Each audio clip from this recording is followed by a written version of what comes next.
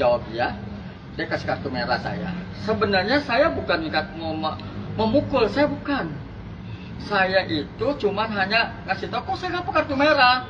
Dan saya pengen nah pengen sih pengen netop begini kamu bukan saya bukan mau mukul begini bukan. Kalau mukul begini saya udah sih saya udah kartu merah. Dan saya udah kartu merah. Dan saya jalan kan mau keluar. Nah tiba-tiba wasit tendang saya juga saya nggak eluin kan nah ada di situ eh, di YouTube ya. selain YouTube juga ada di TikTok dia kan nah saya jalan keluar udah nggak ada masalah